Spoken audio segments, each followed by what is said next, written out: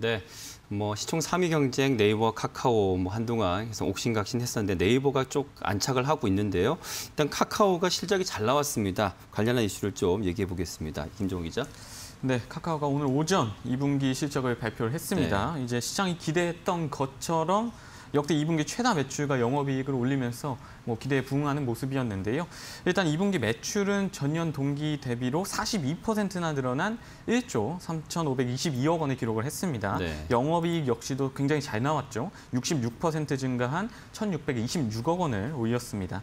이게 사업 부문별로 한번 보니까 뭐 하나 뺄 것 없이 정말 고른 호실적을 기록을 했더라고요. 뭐 흔들리는 사업이 거의 없어 보입니다. 네. 플랫폼 사업부터 보면 매출이 전년 동기 대비 47% 증가 를 한 7,600억 원에 달했고요.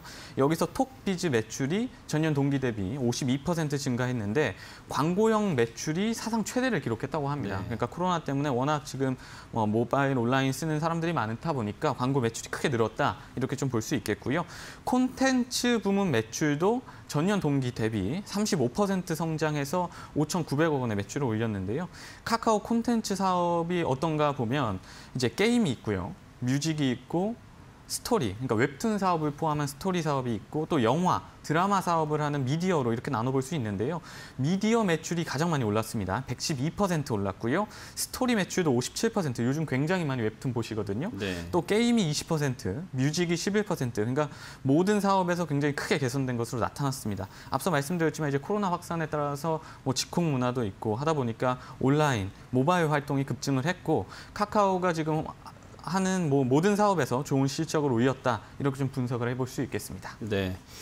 카카오뱅크 얘기를 안 할 수가 없잖아요. 오늘 상장을 했는데 따상은 안 됐지만 급등해서 지금 시총 12위권입니다.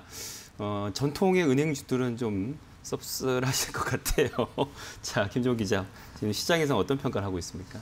네, 인터넷 전문은행 카카오뱅크 뭐 오늘 상장을 했고 굉장히 많은 분들이 따상을 기대하셨는데 네. 결과론적으로는 따상에는 실패를 했지만 굉장히 지금 흐름이 좋습니다. 네. 현재 시초가 대비 26% 오른 6만 7,800원에 거래가 되고 있는데요.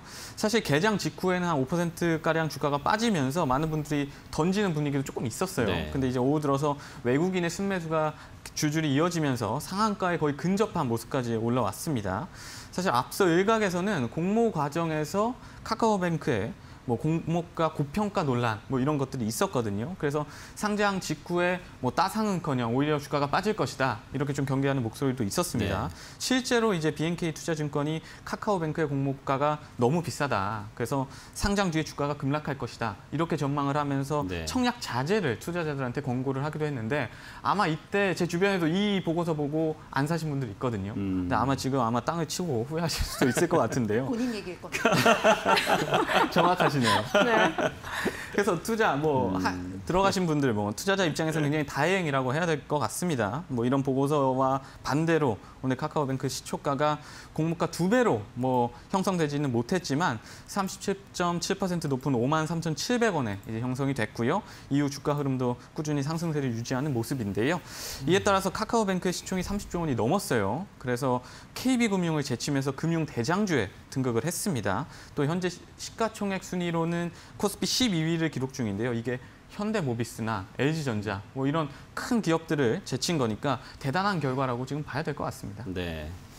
뭐 미리 말씀드리지만 저 시샘 아니고요. 그 창업자 김범수 의장 얘기를 또 뭐 여러 프로그램에서 이제 부자 1등 뭐 이렇게 하면서 좀 얘기를 하길래 어, 이분은 미국 사람인 것으로 저는 알고 있습니다. 한국인 출신이라 그러면 제가 인정하겠지만 하여튼 팩트 체크는 하고 하여간 카카오 요즘 뭐 호재가 많이 있습니다. 카카오 전망과 투자 전략으로 마무리할까요? 그러니까 뭐 실적이 굉장히 좋게 나왔는데 카카오가 손에 대는 사업마다 다 터지고 있다, 빵빵 터지고 있다 이렇게 네. 봐야 될 것 같습니다. 실제로 이렇게 보는 시각도 많, 많은데요. 기존의 메신저 또 뭐 포털에서 시작을 해서 게임, 은행, 모빌리티, 페이 거의 손에 대는 사업마다 지금 굉장히 잘 되고 있고 승승장구하고 있다 이렇게 봐야 될 것 같습니다. 증권 업계에서는 지난달 24일에 이제 카카오가 장중 17만 3천 원에 거래되면서 이제 사상 최고치를 경신을 했잖아요. 네. 그런데 카카오 주가가 이것보다 넘어서서 지속 오름세를 기록할 것이다. 이렇게 긍정적으로 보는 분위기가 지금 우세한 것으로 보이는데요. 다만 지난달에 이제 카카오 주가가 17만 원을 넘은 뒤에는 다소 좀 조정에 들어가는 모습입니다. 오늘도 전반적인 뭐 시장 약세 속에 카카오도 힘을 못 쓰고 있는데요. 전일 대비 2% 가량 내린 14만 6천 원에 현재 거래가 되고 있습니다.